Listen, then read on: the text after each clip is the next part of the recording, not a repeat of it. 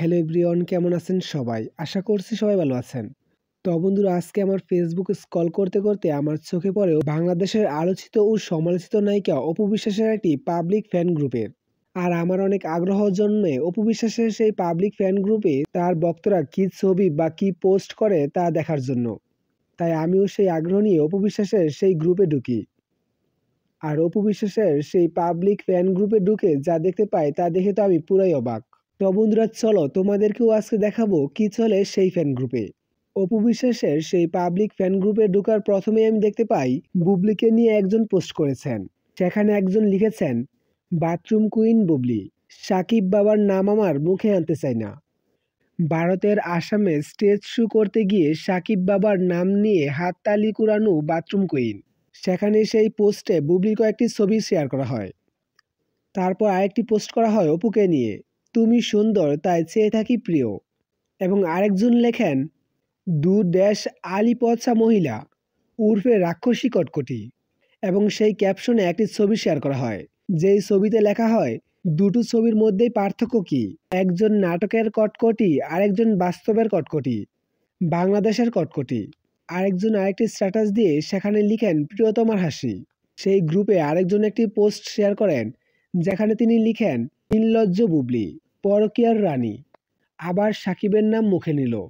কারণ জানে তো, সাকিবের নাম মুখে নিলে পেটে বাদ জোটে। পেহায়া মহিলা এবং অন্য একজনের ছবির মাঝে বুবলির মুখটা বসানো হয়।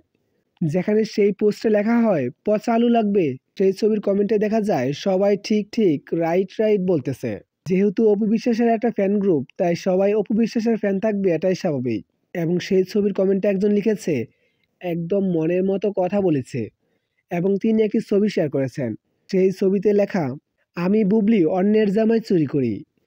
সাকিব রে অপুর কাছ থেকে চুরি করেছি। আর এখন তাপস রে মুনির কাছ থেকে চুরি করতে গিয়ে বাথরুমে ধরা খাইছি।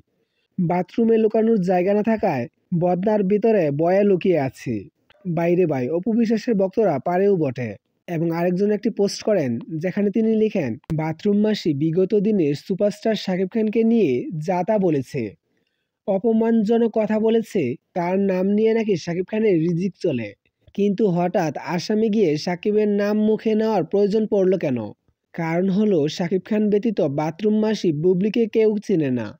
সাকিববিহীন বুবলি কোনো মার্কেট নেই। তাহলে বুঝুন, কার নাম নিয়ে রিজিক চালায়? যেখানে দেখা যায়, বুবলি আসামের একটি স্টেজে দাঁড়িয়ে আছে এবং সেখানে সেই ছবির সাথে একটি কমেন্ট শেয়ার করা হয়। যেখানে সেই কমেন্টে লেখা আছে কারা যেন অপুকে স্টেজের নর্তকী বলেছিল?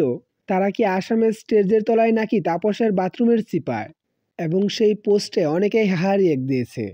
এরকমই আরও হাজারো পোস্ট রয়েছে অপু বিশ্বাসের সেই ফ্যান গ্রুপে, যেখানে দেখা যায় অপু বিশ্বাসের চাইতে বুবলিকে নিয়েই বেশি পোস্ট করা হয়। অপু বিশ্বাসের সেই ফ্যান গ্রুপে বুবলিকে দুয়েই দেওয়া হচ্ছে। তো বন্ধুরা, এই বিষয়টি নিয়ে আপনার মন্তব্য কি? তা কমেন্টে জানাতে ভুলবেন না। আজকের ভিডিওটি এই পর্যন্ত। সবাই ভালো থাকবেন, সুস্থ থাকবেন। ধন্যবাদ।